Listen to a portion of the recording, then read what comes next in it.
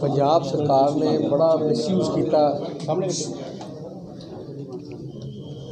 Administration ਨੂੰ, police ਨੂੰ, ਅਫਸਰਾਂ ਨੂੰ, ਜਿੰਨੇ ਵੀਡੀਓ ਸੀ, ਜਿੰਨੇ ਪਟਵਾਰੀ ਸੀ, ਜਿੰਨੇ ਪੰਚਾਇਤ ਸੈਕਟਰੀ ਸੀ, ਸਾਰਿਆਂ ਨੂੰ ਉਹਨਾਂ ਡਿਊਟੀਆਂ ਲਾਈਆਂ, ਉਹਨਾਂ ਡਰਾਏ, ਸਰਪੰਚ ਡਰਾਏ। ਅੱਜ ਜਿਹੜਾ ਇਲੈਕਸ਼ਨ ਸੀ, ਜਿਵੇਂ ਪੂਰੀ ਸਰਕਾਰੀ ਮਸ਼ੀਨਰੀ ਇਹਦੇ ਲੱਗੀ ਸੀ। ਫਿਰ ਵੀ ਦਾਖਾ ਹਲਕੇ 'ਚ ਬਹੁਤ ਵੱਡੀ ਸਫਲਤਾ ਆਈ। ਮੈਂ ਇਕੱਲੇ ਦਾਖੀ ਨਹੀਂ, ਮੈਂ ਸਾਰੇ ਚਾਰੇ ਹਲਕੇ ਦੇ ਜਿਹੜੇ ਵੋਟਰ ਹੈ ਸਾਰਿਆਂ ਦਾ ਧੰਨਵਾਦ ਕਰਨਾ ਚਾਹੁੰਦਾ। ਕਿ ਤੁਸੀਂ ਬਹੁਤ ਵਰਕਰ ਨੇ ਆਪਣੇ ਵਰਕਰਾਂ ਨੇ ਲੜਾਈ ਲੜੀ। ਸਰਕਾਰ ਦੇ ਪੂਰੇ ਪ੍ਰੈਸ਼ਰ ਦੇ ਖਿਲਾਫ। ਤੇ ਵੋਟਰਾਂ ਦੇ ਧੰਨਵਾਦ ਕਰਨਾ ਕਿ ਤੁਸੀਂ ਆਪਣਾ ਵੋਟ ਪਾਈ। ਮੈਂ ਇਹ ਕਹਿਣਾ ਚਾਹੁੰਦਾ ਕਿ ਕੈਪਟਨ ਅਮਰਿੰਦਰ ਸਿੰਘ ਦੀ ਸਰਕਾਰ, ਜਿਹਨੂੰ ਕੋਈ ਤਕਰੀਬਨ 3 ਸਾਲ ਹੋ ਗਏ ਹੈ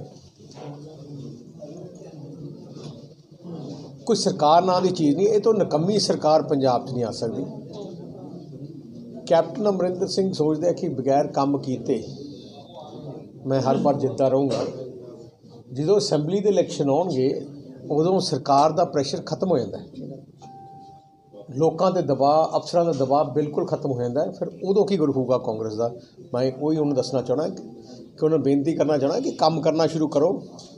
ਜੋ ਵਾਅਦੇ ਉਹਨਾਂ ਨੇ ਕੀਤੇ ਸੀ ਪੰਜਾਬ ਦੀ ਜਨਤਾ ਨਾਲ, ਪੂਰੇ ਕਰੋ। ਨਹੀਂ ਤੇ ਪੰਜਾਬ ਦੀ ਜਨਤਾ ਨੇ ਉਹਨਾਂ ਨੂੰ ਬਿਲਕੁਲ ਸਫਾਇਆ ਕਰ ਦੇਣਾ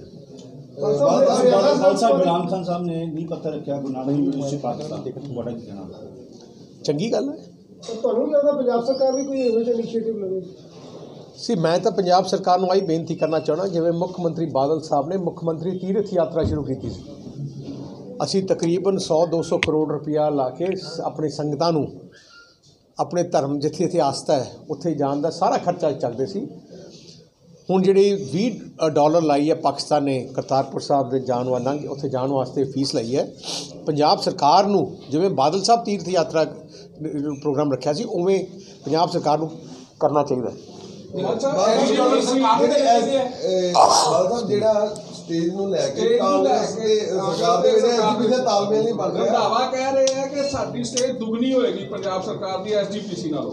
ਸੀ ਆ ਸਵਾਲ ਕੋਈ ਸਾਈਜ਼ ਦਾ ਨਹੀਂ ਹੈ। ਆ ਸਵਾਲ ਸਾਈਜ਼ ਦਾ ਨਹੀਂ।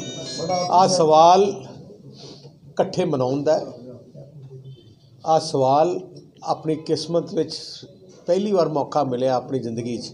ਐਡਾ ਸ਼ੁਭ ਦਿਹਾੜਾ ਆਇਆ। ਆਪਾਂ ਸਾਰੇ ਸ਼੍ਰੀ ਆਪਾਂ ਸਾਰੇ ਸ਼੍ਰੀ ਅਕਾਲ ਤਖਤ ਸਾਹਿਬ ਦੇ ਹੁਕਮ ਦੇ ਪਾਬੰਦ ਹੈ। ਸੋ ਮੈਂ ਤਾਂ ਬੇਨਤੀ ਕਰਾਂਗਾ ਕਾਂਗਰਸ ਜੋ ਸ਼੍ਰੀ ਅਕਾਲ ਤਖਤ ਸਾਹਿਬ ਦਾ ਜੋ ਜਿਵੇਂ ਇਸ ਦਾ ਅਕਾਲ ਤਖ਼ਤ- ਸਾਹਿਬ ਦਾ ਹੁਕਮ ਹੋਏ ਆਪਾਂ ਸਾਰਿਆਂ ਨੂੰ ਉਹਦੇ ਪਾਲਣਾ ਕਰਾਂਗੇ। ਸਿਆਸਤ ਜਿਹੜੀ ਹੋ ਰਹੀ ਹੈ ਸਿਆਸਤ ਹੋ ਰਹੀ ਹੈ।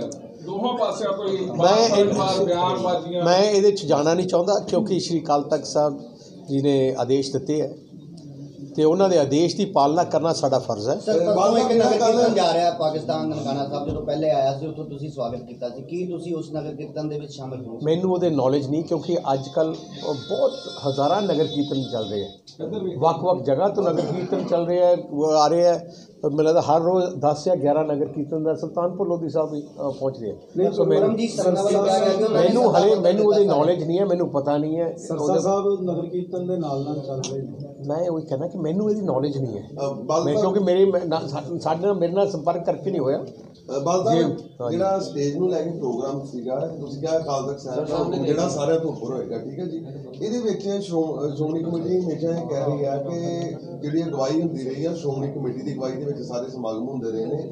ਬਟ ਸੇਵਾ ਸਿੰਘ ਸੇਖੋਂ ਵਾਲੀ ਗੱਲ ਕਹਿੰਦੇ ਨੇ ਕਿ ਪੰਜਾਬ ਸਰਕਾਰ ਵੱਲੋਂ ਜਦੋਂ 1999 ਦੇ ਵਿੱਚ 300 ਸਾਲਾ 300 ਸਾਲਾ ਮਨਾਇਆ ਗਿਆ ਸਾਰਾ ਸਰਕਾਰ ਦਾ ਖਰਚਾ ਸੀਗਾ। ਮੈਂ ਲੋਕ ਸੰਪਰਕ ਵਿਭਾਗ ਦੇ ਵਿੱਚ ਮੈਂ ਸੀਗਾ ਤੇ ਉਹਦਾ ਜਵਾਬ ਕਹਿੰਦੇ ਮੈਂ ਬਤੌਰ ਮੰਤਰੀ ਜਵਾਬ ਮੈਨੂੰ ਲੱਗਦਾ ਹੈ ਉਹਨਾਂ ਦੀ ਨੌਲੇਜ ਥੋੜਾ ਭੁੱਲ ਆ ਗਈ ਹੈ। ਹਰ ਸਮਾਗਮ ਅੱਜ ਤੱਕ ਜੋ ਹੋਇਆ ਹੈ, ਉਹ ਸ਼੍ਰੋਮਣੀ ਗੁਰਦੁਆਰਾ ਪ੍ਰਬੰਧਕ ਕਮੇਟੀ ਦੀ ਅਗਵਾਈ ਥੱਲੇ ਹੀ ਹੁੰਦਾ ਹੈ। ਤੁਸੀਂ ਦੇਖਿਆ ਹੋਣਾ ਹੈ, ਉਹਨਾਂ ਸਮਾਗਮਾਂ ਵਿੱਚ ਸਿਮਰਜੀਤ ਸਿੰਘ ਮਾਨ ਵੀ ਆਏ ਆਉਂਦੇ ਹੁੰਦੇ ਸੀ। ਯਾਦ ਹੈ? ਕਿਉਂਕਿ ਸ਼੍ਰੋਮਣੀ ਗੁਰਦੁਆਰਾ ਪ੍ਰਬੰਧਕ ਕਮੇਟੀ ਦਾ ਸਮਾਗਮ ਸੀ। ਐਂਡ ਉਦੋਂ ਉਹਨਾਂ ਨੇ ਰੌਲੇ ਵੀ ਪਾਏ ਸੀ ਕਿਉਂਕਿ ਸ਼੍ਰੋਮਣੀ ਗੁਰਦੁਆਰਾ ਪ੍ਰਬੰਧਕ ਕਮੇਟੀ ਪੰਥ ਦੀ ਨੁਮਾਇੰਦਾ ਜਥੇਬੰਦੀ ਹੈ। ਉਹਦਾ ਕੰਮ ਹੀ ਸ਼੍ਰੋਮਣੀ ਗੁਰਦੁਆਰਾ ਪ੍ਰਬੰਧਕ ਕਮੇਟੀ ਦਾ ਕੰਮ ਹੀ ਆ। ਹੈ ਗੁਰੂ ਘਰ ਦੀ ਸੇਵਾ ਕਰਨਾ ਸਾਰੇ ਸ਼ੁਭ ਦਿਹਾੜੇ ਮਨਾਉਣਾ ਸ ਕੰਮ ਹੈ। ਸੋ ਮੈਨੂੰ ਲੱਗਦਾ ਸੇਖੋ ਸੇਖੋ ਸਾਹਿਬ ਬਾਰੇ ਇਹਦੇ ਬਾਰੇ ਮੈਂ ਹੋਰ ਇਹ ਤੋਂ ਵੱਧ ਮੈਂ ਕਹਿਣਾ ਚਾਹੁੰਦਾ। ਤੁਹਾਡਾ ਕਹਿਣ ਦਾ ਮਤਲਬ ਇਹ ਕਿ ਜਿਹੜੀ ਕਾਂਗਰਸੀ ਨੇ ਇਹ ਨਹੀਂ ਮੰਨਦੇ ਸ਼੍ਰੀ ਖਾਲਸਾ ਮੈਂ ਮੈਂ ਉਹਦੇ ਬਾਰੇ ਕੁਝ ਨਹੀਂ ਕਹਿਣਾ ਚਾਹੁੰਦਾ ਮੰਨਦੇ ਨਹੀਂ ਮੰਨਦੇ। ਮੈਂ ਤਾਂ ਸਾਰਿਆਂ ਨੂੰ ਬੇਨਤੀ ਕਰਦਾ ਕਿ ਆਪਾਂ ਨੂੰ ਸ਼੍ਰੀ ਅਕਾਲ ਤਖਤ ਸਾਹਿਬ ਜੀ ਦੇ ਆਪਾਂ ਸਾਰਿਆਂ ਨੇ ਉਹਨਾਂ ਦੇ ਛੱਡਤਾ ਸੀ ਸ਼੍ਰੀ ਅਕਾਲ ਤਖਤ ਸਾਹਿਬ ਦੇ ਜਥੇਦਾਰ ਦੇ ਛੱਡਤਾ ਸੀ ਤੁਸੀਂ ਫੈਸਲਾ ਕਰੋ। ਟਕਸਾਲੀ ਲੋਕਾਂ ਨੇ ਐਸਜੀਪੀਸੀ ਇਲੈਕਸ਼ਨ ਕਰਵਾਉਣ ਦੀ ਮੰਗ ਕੀਤੀ ਸੈਂਟਰ ਤੋਂ। ਉਹ ਤਾਂ ਯਾਰ ਜਦੋਂ ਇਲੈਕਸ਼ਨ ਡਿਊ ਹੋਣਾ ਹੈ, ਉਦੋਂ ਹੀ ਹੋਣਾ ਹੈ। ਨਾ ਮੈਂ ਪਹਿਲੇ ਕਰਾ ਸਕਦਾ ਨਾ ਉਹ ਪਹਿਲੇ ਕਰਾ ਸਕਦੇ ਐਂ ਤਾਂ ਫਿਰ ਮੈਂ ਤਾਂ ਕਹਿਣੂਗਾ ਪੰਜਾਬ ਸਰਕਾਰ ਦਾ ਇਲੈਕਸ਼ਨ ਅੱਜ ਕਰਾ ਦਿਓ। ਮੈਂ ਕਰਾ ਤਾਂ ਨਹੀਂ ਸਕਦਾ। ਬਹੁਤ ਵੱਡੀ ਇੱਕ ਅਸੀਂ ਕਹਿ ਸਕਦੇ ਕਿ ਪੂਰੇ ਨਾਨਕ ਨਾਮ ਲੇਵਾ ਜਿਹੜੀ ਸੰਗਤ ਹੈ ਉਹਦੀ ਇੱਕ ਪ੍ਰਾਪਤੀ ਹੈ। ਤੇ ਜਦੋਂ ਪਾਕਿਸਤਾਨ ਦੇ ਵਿੱਚ ਜਿਹੜੇ ਸਮਾਗਮ ਹੋਣਗੇ ਜਾਂ ਭਾਰਤ ਵਾਲੇ ਪਾਸੇ ਤੁਸੀਂ ਉਹਨਾਂ ਦੇ ਵਿੱਚ ਸ਼ਾਮਲ ਹੋ ਅਸੀਂ ਜੋ ਜਿੱਥੇ ਮੈਂ ਜਾ ਸਕਦਾ ਜ਼ਰੂਰ ਜਾਊਂਗਾ। ਖਾਲਸਾ 9 ਨਵੰਬਰ ਦਾ ਜਿਹੜਾ ਪ੍ਰੋਗਰਾਮ ਹੈ ਉਹਦੇ ਵਾਸਤੇ ਸੱਦਾ ਆਇਆ ਤੁਹਾਨੂੰ ਅਹ, ਜਿਹੜਾ ਪ੍ਰਧਾਨ ਕਰਤਾਰਪੁਰ ਕੋਰੀਡੋਰ ਦਾ ਡੇਰਾ ਬਾਬਾ ਨਾਨਕ ਦੇ ਵਿੱਚ। ਹਾਂਜੀ। ਉਹਦੇ ਵਾਸਤੇ ਕੋਈ ਇਨਵੀਟੇਸ਼ਨ ਸਰਕਾਰ ਵੱਲੋਂ ਹਾਂ ਸੈਂਟਰ ਸਰਕਾਰ ਤਰਫੋਂ ਆਇਆ। ਬਾਦਲ ਤੁਸੀਂ ਜਾ ਰਹੇ ਹੋ ਉਸ ਜਥੇ ਦੇ ਵਿੱਚ ਜਦੋਂ ਪਹਿਲਾਂ ਜਥਾ ਜਾ ਅ, ਮੈਂ ਆਪਣੇ ਆਪ ਦਾ ਨਾਮ ਭੇਜਿਆ। ਜੀ ਬਾਦਲ ਸਾਹਿਬ ਕੱਲ ਜਿਹੜੇ ਅਹ, ਟਕਸਾਲੀਆਂ ਵੱਲੋਂ ਇੱਕ ਪ੍ਰੈਸ ਕਾਨਫਰੰਸ ਕੀਤੀ ਗਈ ਸੀਗੀ। ਉਹਦੇ ਵਿੱਚ ਇਹ ਕਿਹਾ ਗਿਆ ਕਿ ਸੁਖਬੀਰ ਬਾਦਲ ਨੂੰ ਨਹੀਂ ਭੁੱਲ ਜਾਣਗੇ ਦੁਬਾਰਾ ਉਹ ਸੂਬੇ 'ਚ ਕਦੀ ਰਾਜ ਕਰ ਪਾਉਣਗੇ। ਅਹ, ਉਹ ਮੂੰਹ ਨਹੀਂ ਲਾਏਗੀ ਇਸ ਤਰ੍ਹਾਂ ਦੇ ਯਾਰ ਮੇਰੇ ਮੇਰੇ ਬੜੇ ਸੀਨੀਅਰ ਲੀਡਰ ਹੈ। ਮੈਂ ਉਹਨਾਂ ਨੂੰ ਬੜੀ ਰਿਸਪੈਕਟ ਕਰਦਾ। ਤੇ ਮੈਂ ਉਹਨਾਂ ਦੇ ਖਿਲਾਫ ਕੋਈ ਲਫ਼ਜ਼ ਬੋਲਣਾ ਨਹੀਂ ਚਾਹੁੰਦਾ। ਸਰ ਕਰਤਾਰਪੁਰ ਬਾਰਡਰ ਨੂੰ ਲੈ ਕੇ ਜਦੋਂ ਵੀ ਗੱਲ ਹੁੰਦੀ ਹੈ ਕਾਂਗਰਸ ਕਹਿੰਦੀ ਹੈ ਸਿੱਧੂ ਨੇ ਫੋਨ ਕਰਵਾਇਆ ਰਸਤਾ ਪਰ ਜਦੋਂ ਉਹਨਾਂ ਦਾ ਡੈਲੀਗੇਸ਼ਨ ਜਾ ਰਿਹਾ ਉਹਦੇ ਚ ਉਹਦਾ ਨਾਂ ਨਹੀਂ ਹੈਗਾ। ਮੈਂ ਮੈਂ ਮੁੱਖ ਮੰਤਰੀ ਜੀ ਤੋਂ ਸਵਾਲ ਤੁਸੀਂ ਪੁੱਛ ਸਕਦੇ ਹੋ?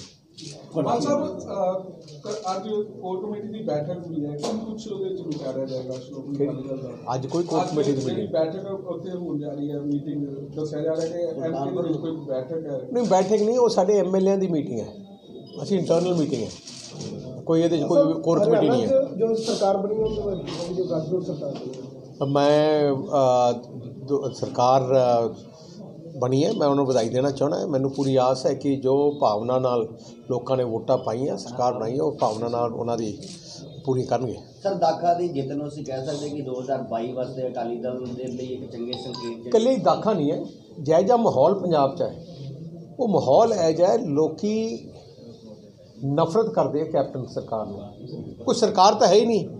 ਤੁਸੀਂ ਆਪ, ਮੈਂ ਜ਼ਿਆਦਾ ਦੂਰ ਨਾ, ਤੁਸੀਂ ਇੱਥੇ ਅੰਮ੍ਰਿਤ ਸ਼੍ਰੀ ਅੰਮ੍ਰਿਤਸਰ ਸਾਹਿਬ ਦੇਖ ਲਓ।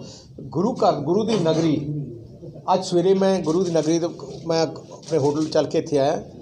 ਇੰਨਾ ਕੂੜਾ ਸੀ, ਇੰਨਾ ਗੰਦ ਪਿਆ ਕੋਈ ਸਫ਼ਾਈ ਨਹੀਂ ਇੱਥੇ। ਇੱਕ ਡਿਵੈਲਪਮੈਂਟ ਨਹੀਂ ਸੀ। ਜਿਹੜੇ ਅਸੀਂ ਬੂਟੇ ਵੀ ਲਾਏ ਸੀ, ਉਹ ਵੀ ਮੱਚ ਗਏ ਆ। ਜਿਨ੍ਹਾਂ ਸੜਕਾਂ ਜਿੱਥੇ ਪੇਂਟ ਕਰਾਇਆ ਸੀ ਪੇਂਟ ਉਤਰ ਗਏ ਆ। ਟੋਏ ਸੜਕਾਂ 'ਚ ਹੋ ਗਏ ਆ। ਕੋਈ ਸਿਸਟਮ ਚੱਲ ਨਹੀਂ ਰਿਹਾ। ਕੈਪਟਨ ਸਾਹਿਬ ਨੇ ਦੀਵਾਲੀ ਤੇ ਫੋਨ ਦੇਣੇ ਸੀ ਮਨਪ੍ਰੀਤ ਬਾਦਲ ਨੇ ਵੀ ਕਿਹਾ ਸੀ ਕਿ ਦੀਵਾਲੀ ਤੇ ਨੌਜਵਾਨਾਂ ਨੂੰ ਅਸੀਂ ਮੋਬਾਈਲ ਫੋਨ ਦਵਾਂਗੇ। ਹੁਣ ਐ ਨਹੀਂ ਪਤਾ ਕਿਹੜੀ ਦੀਵਾਲੀ ਹੈ। ਮੈਨੂੰ ਲੱਗਦਾ ਹੈ ਕਿ ਕਿੰਨੇ ਸਾਲ ਟੱਪਣਗੇ। ਕਿਉਂਕਿ ਅੱਜ ਤੱਕ ਕੈਪਟਨ ਸਾਹਿਬ ਨੇ ਕੋਈ ਝੂਠਾ ਵਾਦਾ ਕੋਈ ਵੀ ਵਾਦਾ ਪੂਰਾ ਨਹੀਂ ਕੀਤਾ ਅੱਜ ਤੱਕ। Thank you